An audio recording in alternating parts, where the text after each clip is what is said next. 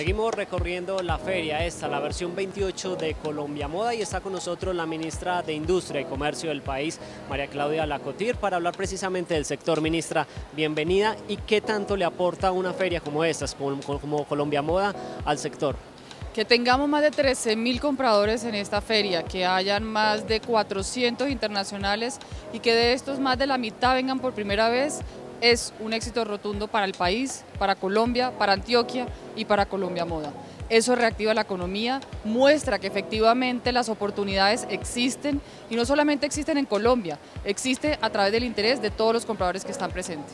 Ministra, sin duda la mayor queja y preocupación del sector sigue siendo el tema del contrabando. ¿Qué se está haciendo y qué tanto ha servido la ley anticontrabando? El gobierno ha sido muy enfático en que no podemos ceder ni un grado al contrabando y por eso la ley anticontrabando que salió el año pasado es uno de los compromisos que cumplió el gobierno.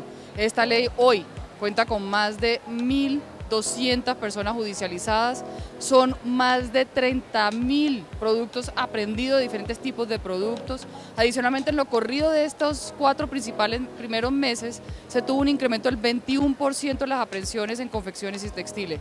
Sabemos que tenemos que seguir trabajando y por eso hoy tenemos una mesa de diálogo con el sector para hablar del contrabando y la subfacturación. Gracias, ministra. La dejamos para que continúe disfrutando de esta versión número 28 de Colombiamoda. Nosotros los invitamos a estar muy pendientes ingresando a www.colombiamoda.telemedellín.tv y participando en nuestras redes sociales con el numeral Colombiamoda 2017 Telemedellín, el canal oficial de la Semana de la Moda.